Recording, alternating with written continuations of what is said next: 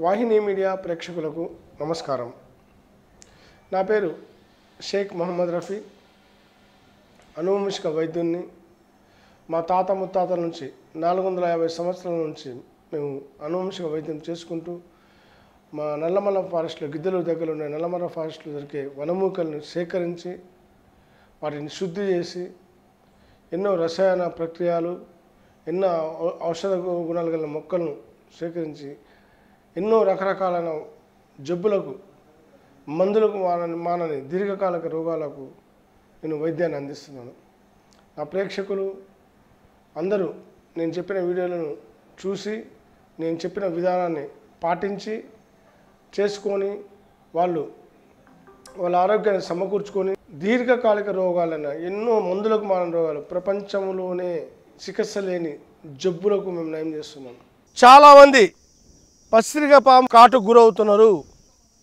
అలాంటి వాళ్ళకు చెట్లలో ఉండే పాముల్ని వెతికి ఇద్దరు మీకు చూపిస్తాను చూడండి.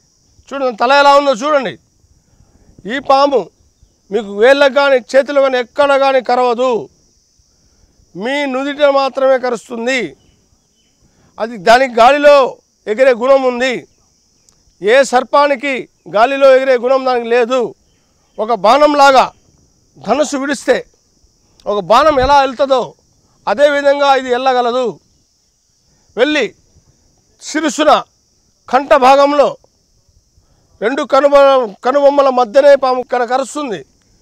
వెంటనే వితిన్ సెకండ్స్లలో ఎలాంటి స్పర్శ లేకుండా మనిషి మరణానికి దారితీస్తుంది. ఆ తక్షణమే వితిన్ సెకండ్స్లో మరణం దగ్గరకు వస్తుంది. అలాంటప్పుడు మీరు ఏ మూలికలు తీసుకుంటారు? ఏ ఏ హాస్పిటల్కి వెళ్తారు? ఒకటే ఒక మార్గం. ఎన్నో గ్రంథాలలో ఎన్నో ఋషులు తెలియపరిచిన ఒకే ఒక విషయం గొప్ప విషయం.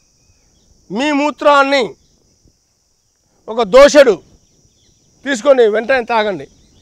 మీరు తాగని వెంటనే ఈ పాము విషయం సంపూర్ణంగా మీ శరీరం నుంచి వెళ్ళిపోతుంది. దాని తర్వాత ఆ రోజు రాత్రి భూమి మీద మాత్రమే పడుకోండి. శయ్యల మీద పడుకోవద్దు. మంచాల మీద పడుకోవద్దు. కాబట్టి నేను చెప్పిన ఈ విషయాన్ని చూపించా. ఇంత ధైర్యంగా వెతికిన పాముని ఎతికిన కాబట్టి నేను చెప్పిన గొప్ప గొప్ప ఆయుర్వేద మూలికలు. ఇది నాతో వచ్చింది కాదు. నేను చెప్పేది కాదు. మా తాత ముత్తాతలు నాలుగు వందల యాభై సంవత్సరాల నుంచి ఎన్నో గ్రంథాలను పరిశీలన చేసి ఎన్నో రకాల మందులు తయారు చేసి ఎంతోమందికి న్యాయం చేసి చెప్పిన విషయాలు మీ మీకు ఈరోజు నేను పెడుతున్నాను. సామాన్యమైన వైద్యం కాదు ఇది పుస్తక జ్ఞానం కాదు. ఒక గురు దగ్గర పోయి రెండు మూడు ముక్కలుగా నేర్చుకున్నది కాదు.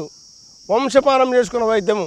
కాబట్టి మీరు ఈ పాము కాటు ఈ పాము ప్రత్యేకంగా పసిరిక పాము కాటుకు గురైనప్పుడు నేను చెప్పిన విధంగా మీ మూత్రాన్ని ఒక దోశ తాగండి. మీరు సంపూర్ణంగా బాగవుతారు. ఇది నా అనుభవపూర్వకము. వందల మంది కాదు వేల మందికి ఎంతోమంది చెప్పి ఉన్నాను. ఈరోజు ఈ విషయం అందరికీ తెలియాలనే ఉద్దేశంతో మీకు చెప్తున్నాను. వీడియో కనుక మీకు నచ్చినట్లయితే లైక్ చేయండి షేర్ చేయండి మరిన్ని వీడియోస్ కోసం మా ఛానల్ని సబ్స్క్రైబ్ చేయండి. మీ అభిప్రాయాలు మాకు కామెంట్స్ రూపంలో చెప్పండి. మరిన్ని వీడియోస్ కోసం మా ఛానల్ని సబ్స్క్రైబ్ చేయండి.